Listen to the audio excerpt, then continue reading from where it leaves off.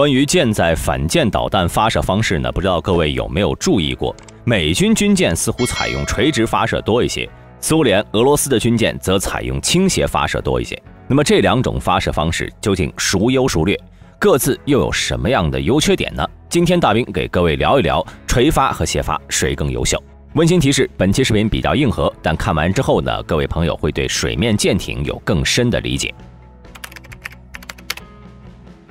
在上世纪八十年代，舰艇上的反舰导弹大多数呢都是采用倾斜发射的方式设置于主甲板上。不过呢，垂直发射系统日益完善，于是反舰导弹也开始采用垂直发射。比如苏联的基洛夫级导弹巡洋舰首次将重量接近七吨的 P 七零零花岗岩反舰导弹设计成为了垂直发射方式。之后，美国发展的 Mk 四一通用垂直发射装置也可以发射鱼叉和战斧。一时间，大有垂直发射会彻底取代传统倾斜发射的意思。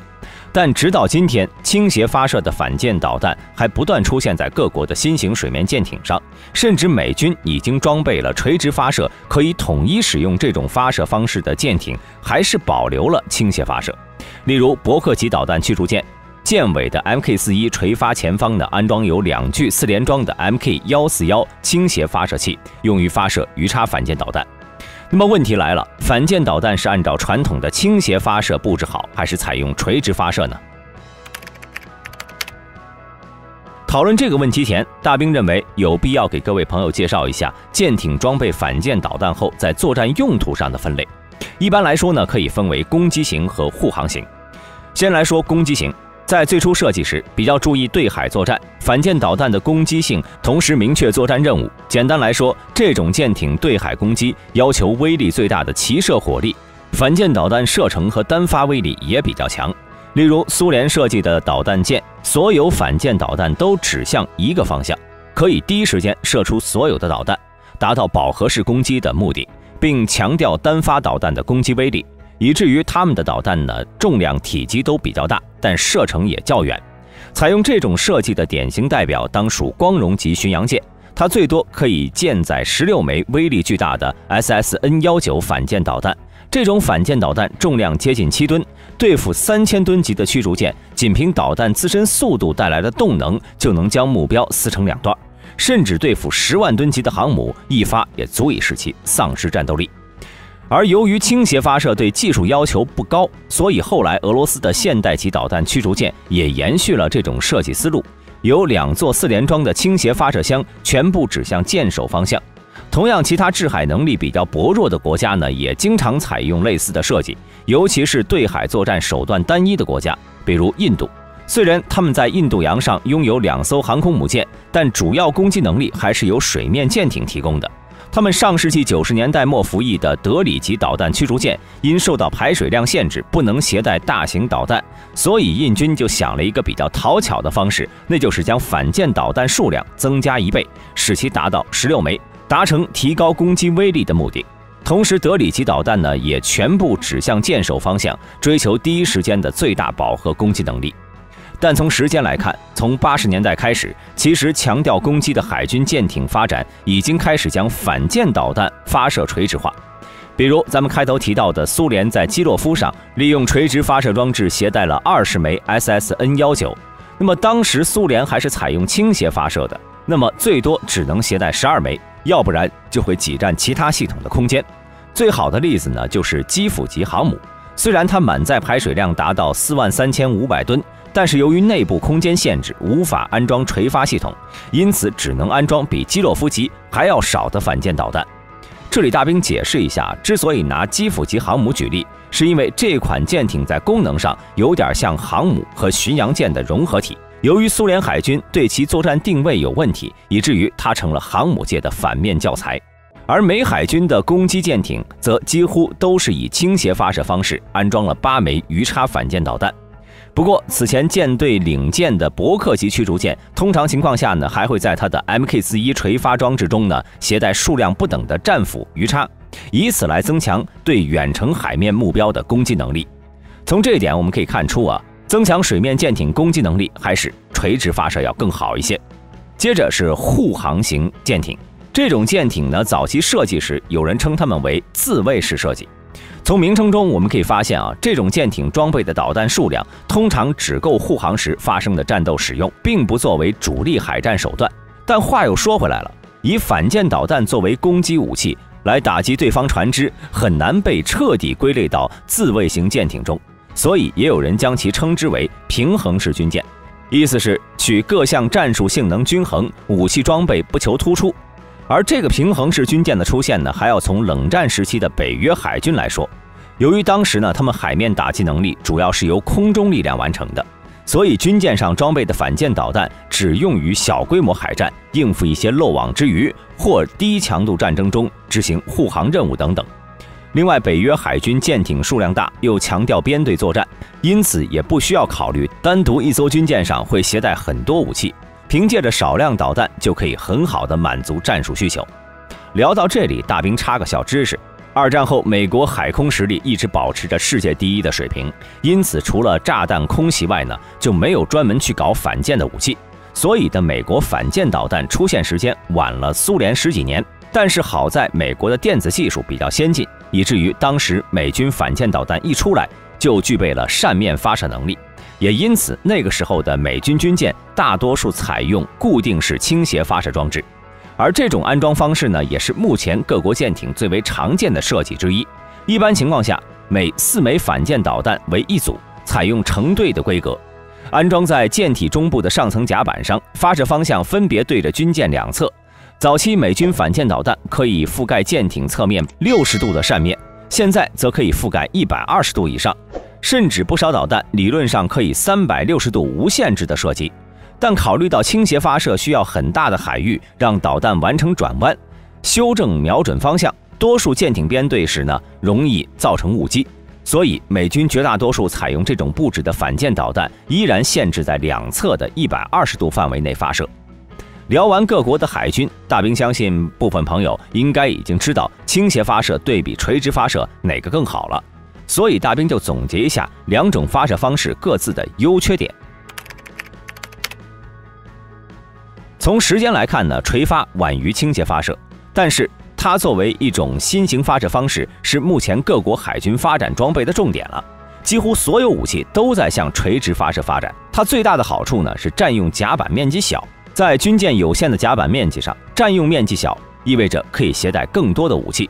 例如，美海军的提康德罗加级导弹巡洋舰，早期采用快速升降装填的发射架，后期用上了 Mk 四一垂发，在甲板面积极其充足的情况下，可携带武器数量比早期型号提高了一倍，持续作战能力也得到了倍增，或者说是打击能力倍增。其次呢，垂发系统取消了复杂的装填机构，可靠性获得更大提高。同时，每个垂直发射井都是独立发射通道。可以排除其他导弹发射时的气流干扰，达到一秒一发的速度发射导弹。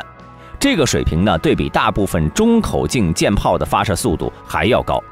并且垂直发射系统深埋于舰艇内部，对任何一个方向都可以随时开启全舰最大火力，不需要军舰调整航向就可以射击任意方向的目标。这种特性呢，在对付复杂的多目标时，优点特别突出。可以在极短时间内完成对目标发起攻击，为安全脱离危险区或者舰艇机动站位提供时间优势。当然，垂发系统深埋于甲板之下，还有一个好处，那就是甲板上没有不规则的凸起物，有利于舰艇减小雷达反射面积。从以上角度看，垂发反舰导弹的优势非常诱人。但任何东西都是有好有坏的。首先，垂发装置啊布置起来比较困难。一艘排水量有限的军舰，舱室本来就较为紧张，而垂发系统长度呢，要决定它要穿透多少层甲板，才能满足安装要求。反舰导弹大多数都比较重，也比较长，因此能以垂发的方式发射反舰导弹，军舰甲板至少要被穿透三层以上，并且呢，垂直发射系统比较重，一般不能布置在上层建筑中，以免影响稳定。所以，能上垂发反舰导弹的军舰，基本上排水量都比较大。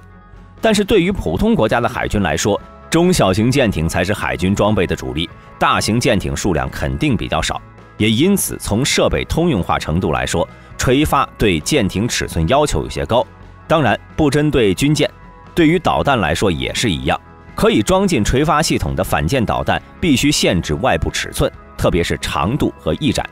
其次呢，现在的反舰导弹大多是被设计成多平台使用，具有很强的改装能力。但不管是改进或者被设计成为可垂直发射，都必须和普通导弹有结构差异。要么为了通用其他平台，接受为垂发付出的代价，要么就单独搞垂发。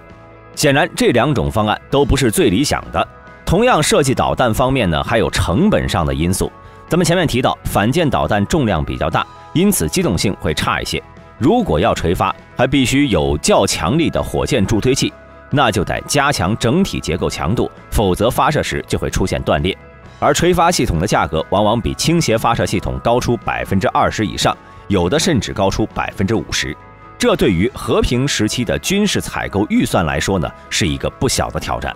最后，持续作战方面，这里呢，大兵先解释一下。下面的观点是建立在发生高烈度的大规模战争情况下。从数量看，尽管垂发系统可以携带的武器更多，但在海上再次装填的能力较差。早期的垂发系统还有海上的补给装填的计划，而现在的军舰呢，基本都不具备海上补给垂发反舰导弹的能力，必须回到基地或者港口才能利用吊装设备完成。因此，大型军舰。可以依靠一次性携带数量足够的导弹来满足战术要求，小型军舰那就必须返回军港补充，才能继续作战。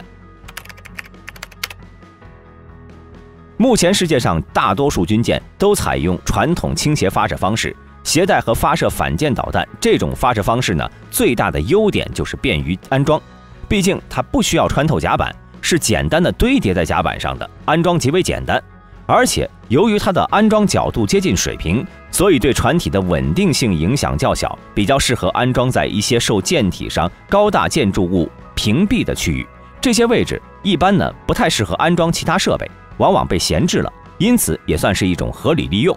就比如前面提到的伯克级驱逐舰，已经成为了一种主流。目前各国军舰百分之九十以上都在舰桥和烟囱间成对安装倾斜发射箱。这样既可以使军舰甲板布局更紧凑，又可以将其他甲板空间留给对发射世界有要求的武器。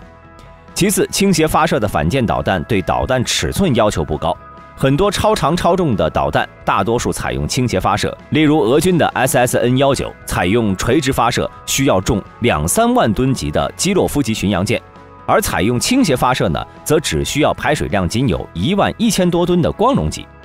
另外，倾斜发射的反舰导弹，因为安装方式比较简单，对发射和包装器具要求不高，所以采购费用比较低廉。而由于大多数军舰上层建筑居中，所以没有用到的甲板面积都比较大，这反倒给反舰导弹留出了很大的利用空间。即便是一些没有采用折叠弹翼且发射距尺寸较大的反舰导弹，都可以轻松布置。比如二战末期美军伊阿华号战列舰。通过很简单的技术手段，就在上面安装了十二座四联装导弹发射装置，成为威力巨大的导弹战舰。这意味着战争时期可以非常快捷地将这种发射方式的导弹安装到一些民用船只上，使其成为辅助战舰。这是其他任何一种发射方式都无法比拟的。最后，则是安全性方面，倾斜发射的导弹装置，由于它布置在甲板之上，导弹出现意外时对舰体结构的破坏是最小的。并且能够在危险的时候将出现意外的导弹单元给抛弃到海里，这对于火灾或者是导弹解除保险但未能发射出现意外爆炸时对舰体结构的破坏是最小的。以现阶段各国军舰消防能力来说呢，对比上世纪已经有明显提高了，所以军舰生存性比较高。当然了，以上观点各位自行忽略俄军军舰，这不是大兵故意抹黑啊，因为类似的军舰火灾等事故基本上都是他们的。那么说了这么多，未来反舰导弹发射方式会如何发展呢？